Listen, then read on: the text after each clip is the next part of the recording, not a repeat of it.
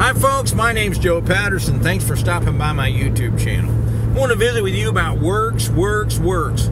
I got to tell you, it's not a pleasant conversation for me.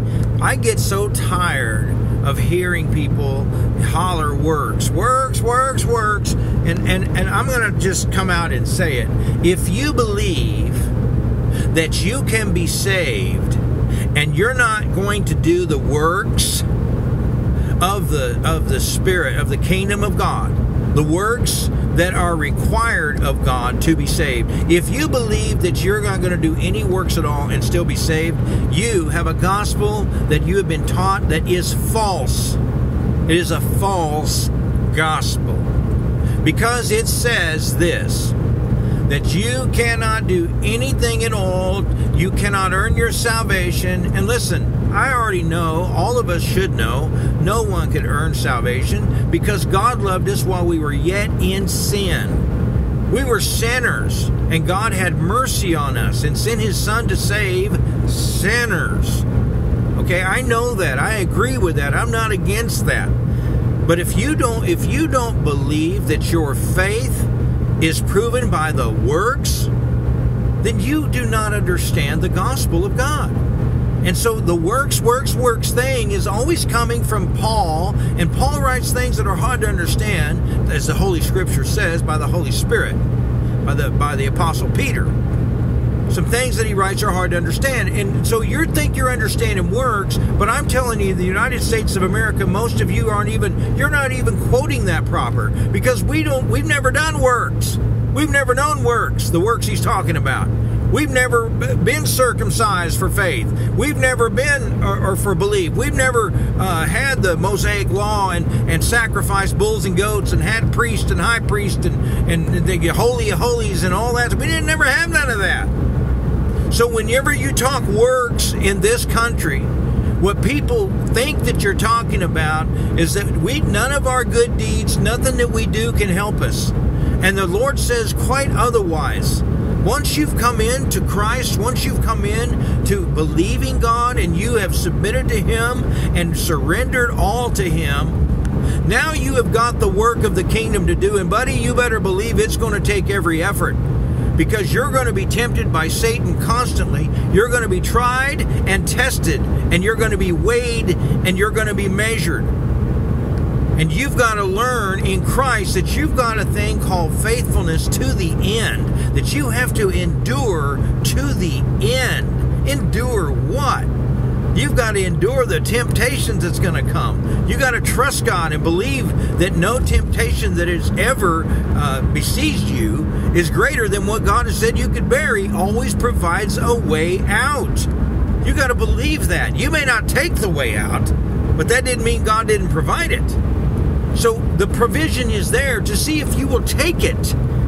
If you don't take it, you fall in the. Te- I've done it many times. You fall into the temptation and do the sin, and in the end, sin. The wages of sin is death. So you have to learn to overcome. You're going to learn to put on the armor of God and operate in the armor of God and have an understanding of it. You've got to know that your mind has got to become transformed and made new and renewed by the spirit of your mind, you're going to become a new creation. You're going to grow now in the spirit like you used to grow in the flesh. You're going to lay down the flesh and take up the spirit, and you're going to sow to the spirit, therefore, uh, sowing to eternal life. So if you think there's nothing to do to be saved, that you, well, Jesus did it all, and all I got to do is believe that, and I'm saved no matter what, and because I'm saved now, now I'm going to do all this stuff. Okay, all right. But you better do it because if you don't do it, the same person that told you you didn't have to do anything to be saved now is going to say you're not a Christian. You're not a Christian. If you're a Christian, you do these things.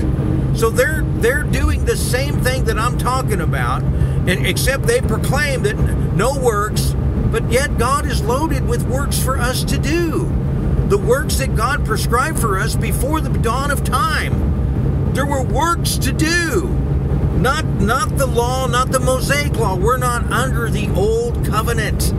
So when you quote that out of the Bible, you're quoting Paul, who was trying to tell people we're no longer under the old covenant. Now the Messiah has come with a new covenant, a new priesthood. Jesus the Christ is the high priest forever.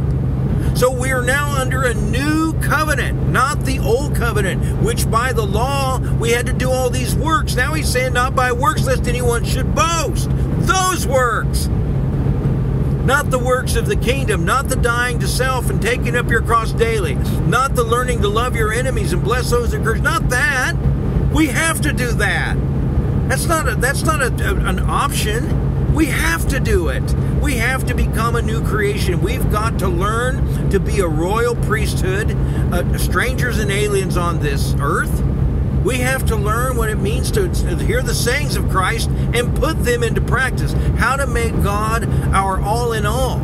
How do we trust God? How do we seek first the kingdom of God and all his righteousness? And how do we trust him to provide everything we need? He feeds the sparrows, right? He gives them all they need. He dresses the flowers of the field. How do we get to where we can take him at his word? How do we trust him with our health? How do we trust him with our finances? How do we do all that? The works of the kingdom of God must be in you, or you are not going to remain in him. This is what the Lord Jesus taught, folks. Hear the word of the Lord. It's in, go to the book of John, read the story. I don't know what chapter. Sadly, you guys can look it up on Google. Read that He is the vine, we are the branch, right? Those that are in Christ are the branches.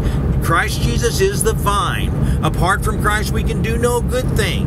Though the branches must produce fruit, because if they don't, Jesus said, the Father will prune them off, and those branches that produce no fruit are only good for the fire. Each man's work will be tested by the fire to see if it was true. Was it pure? Okay, what makes it pure? The sayings of Jesus, doing what Jesus did, walking as he did, letting your mind be transformed to hear from the Lord, from the Holy Spirit, which is the Spirit of truth, cometh from the throne of God, and tells us what pleases him in everything we do. Paul says anything that's not done by faith is sin. Anything that's not done by faith. Your entire life, the goal before you die is to learn to live by faith because the just will live by faith. And without faith, it is impossible to please God. Without holiness, you will never see God. So you've got to learn what holiness is by the Holy Ghost and learn to be taught by the Spirit. These are things that most preachers will not teach you to be taught by the Holy Ghost because they haven't been taught by the Holy Ghost.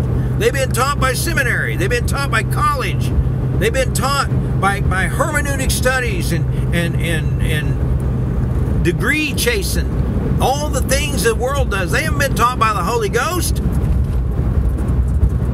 That's why when they run onto people that have been,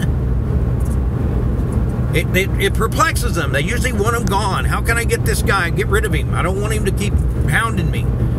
You know, he thinks he knows a bunch of stuff. He's arrogant. He thinks I need him. You know? anyway, I hope you can hear it in the name of the Lord and, and come to understand what the Lord God would have us to know about His beautiful way. My name is Joe. I thank you for tuning in.